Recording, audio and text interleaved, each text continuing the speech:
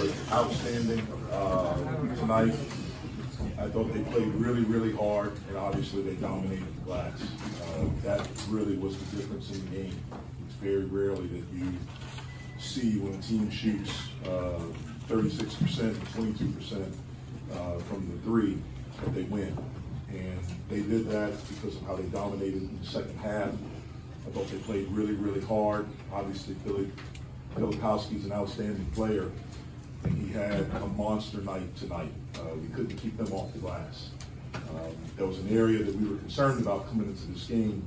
We understood uh, that they've been the best offensive rebounding team in this league in conference play, and really one of the best offensive rebounding teams in the country. And uh, we didn't do a good job. And all the 50-50 balls uh, in the second half, I mean, really, they offensive rebound the whole game, but all of that stuff in the second half. And we went through, you know, a long stretch where we just couldn't put the ball in the basket. So congrats to them. Uh, something we'll learn from. We'll get better.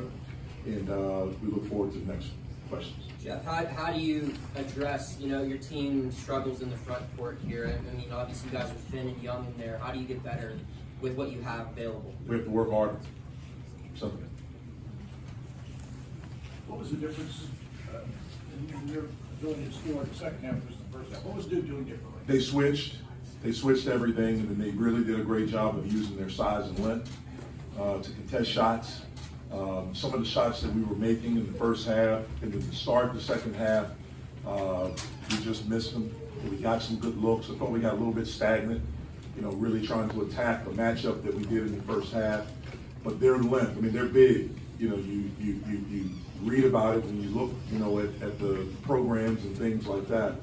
And you get out there and you see the size of Whitehead, Mitchell, uh, Filipowski, you know, when Lively comes in, um, those guys can cover a lot of ground and clean up a lot of stuff.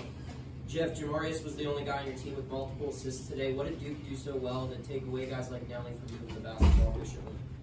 They switched every ball screen in the second half. Uh, they were in gaps and they used their length uh, you know, to really contest shots, and they moved well and kept us out of the paint. Jeff, you, you got so many looks on the mismatches in the first half, trying to get that.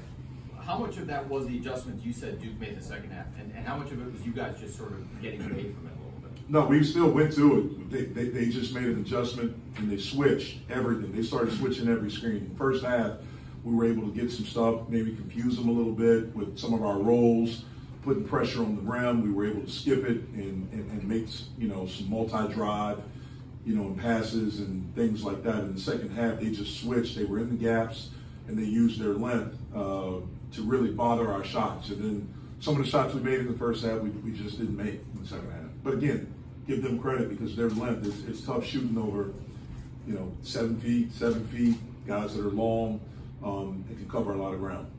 You guys have seen a lot of talented big men this year. Where did Filipowski's efforts tonight rank as far as you know how other guys attacked you guys? Well, I, I, don't think he's a big guy. I think he's a tall guy, but I don't think he's a post player. I think he's just a really good basketball player, and they do a great job of moving him around to different spots. He posts at times. Uh, he drove us. Obviously, he was a monster on the glass. I mean, he's very, very talented. Very, very talented. I knew him. I saw him a lot in high school, uh, but he's gotten so much better since he's been here and tonight, you know, he was he was the best player on the floor. Jeff, you've been in this building a lot, obviously. When when it was at the end of the first half, and then you got to the 12 in the second half, did you get a sense that you maybe taking the building out of it a little bit? Well, I know this building's never out of it. You know, you anticipate a run is coming at some point. Um, and you know, they made a run. The crowd, and the crowd was in it all game. You know, terrific crowd. Um, but when they got going, I think those guys really fed off of it too.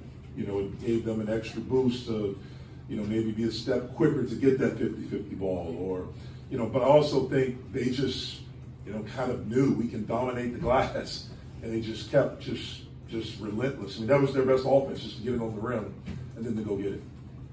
Jeff, you gave Nate eight minutes in the first half, but just one in the second half. What do you think kind of changed within the game planning where he didn't see the floor as much? Yeah, I thought Nate did a terrific job. I thought he did a terrific job. Uh, made a strong drive in the first half for a finish. He made a drive with a great pass to Guillermo. Um, I, I, just thought he did a really good job all night long for us. You know, in the second half, we went with guys that have played well for us all year. And uh, unfortunately, we just didn't do a great job in the second half. It's more of a big picture question about the league. Does it feel like it's a recalibrated?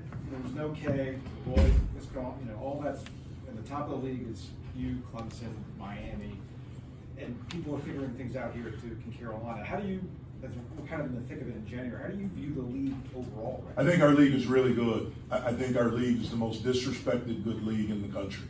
And I hate when, you know, especially people that are doing our games talk like it's not good. You know, we heard that all last year, and all we had was two teams in the Final Four, another team in the uh, Elite Eight. I think our team, uh, I think our league is really good. It may not be as top heavy as it was when I first took the Pitt job, and you had three number one seeds, overall number one seeds in the tournament but it's a really, really good league. Um, and I wish people would really respect it, you know, across the country like we do as coaches. It's really talented players, really good coaches, great home court environments, great passionate fan bases. Um, and we go out and we win. You know, it's, it's, it's, it's, and especially when we get to the tournament. You know, we've proven that year in year out. So I don't think we're recalibrating. It's different faces. Obviously, you don't have the quote unquote legends with Coach and with and with Coach Williams.